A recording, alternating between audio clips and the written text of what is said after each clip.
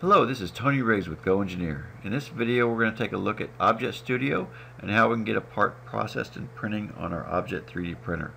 The first step is to come in and insert an STL file.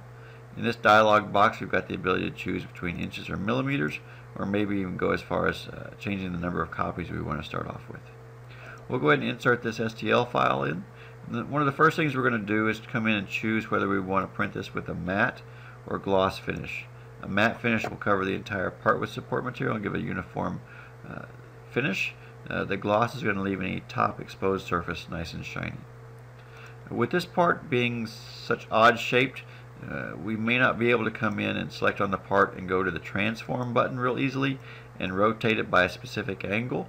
Maybe we want to rotate it about the um, the x-axis, you know, 45 degrees and apply. Uh, that, that may be a little bit difficult to get it oriented the way we want to. We do have the ability to go into the plane selection mode and come in select on a face and maybe say we want to align that to the bottom. The other thing though is that Objet Studio will allow us to do an automatic placement. If we want to keep this orientation we're going to need to come in and get out of plane selection mode go back into the part and lock the orientation because if we do an automatic placement it's going to come in and try to find the, the optimal orientation for this part to print with. So once we have the plate placement succeeded we're going to come in and, do a validation. Once that's succeeded uh, we can do an estimate to see what uh, build time might be.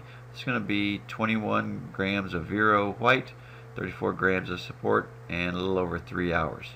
If we're happy with that, we can come in and hit the build uh, button and that's going to send it off to the printer and we can switch over to the machine and get things going from there.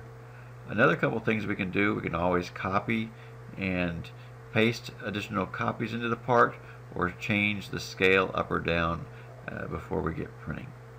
So this was Tony Riggs with GoEngineer and I hope you saw some interesting basics for running Objet Studio.